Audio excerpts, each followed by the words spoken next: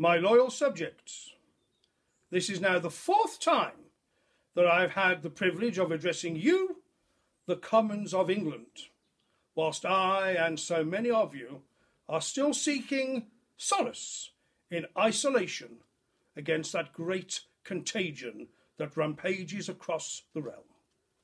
But today is a special day.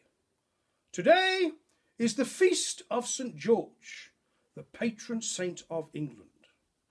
George, a Roman army officer, was persecuted and martyred upon this day, the 23rd of April. He is now known as the patron saint of England.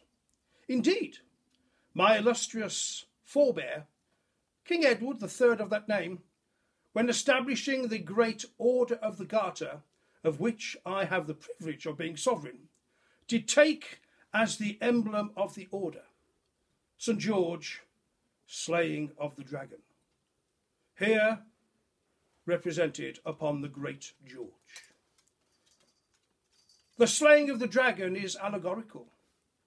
It represents the victory of good upon evil.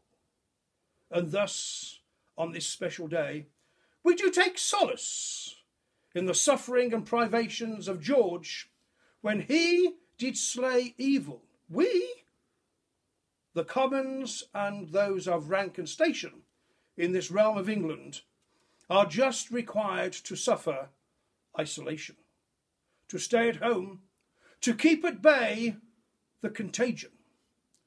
And in staying at home and keeping at bay that evil COVID curse that does rampage upon the land, we are ever to give thanks for those doctors of physic, the physicians, the cunning men, the wise women, the waggoners, the constables of the watch, and all those who do keep you, the commons of England, safe and secure.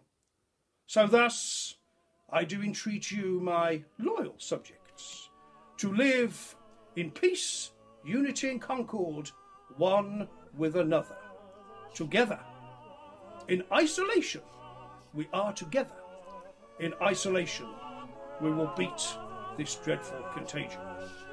And may the Lord our God bless and keep you all.